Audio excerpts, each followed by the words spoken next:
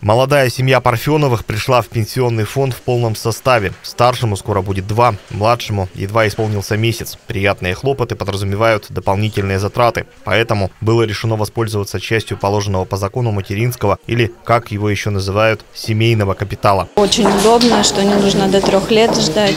Очень хорошее подсобие. Деньги сейчас очень нужны.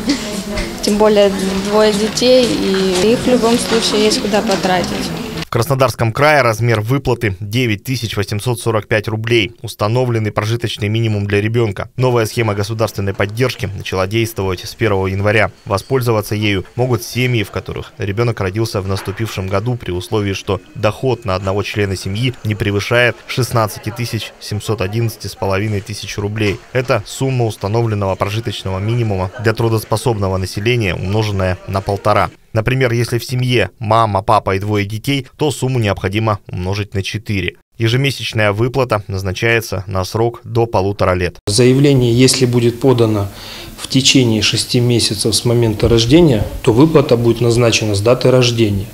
Если заявление будет подано чуть позже, то с даты подачи заявления. Заявление подается по месту прописки, и нужно четко понимать, что сумма берется из средств материнского капитала. То есть она, э, материнский капитал пропорционально уменьшается сумме полученных средств.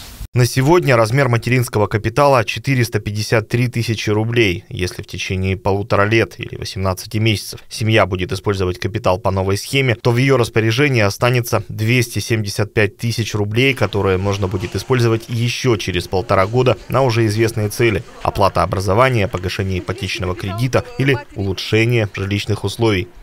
Александр Ребека, Михаил Григорьев, Анапа регион.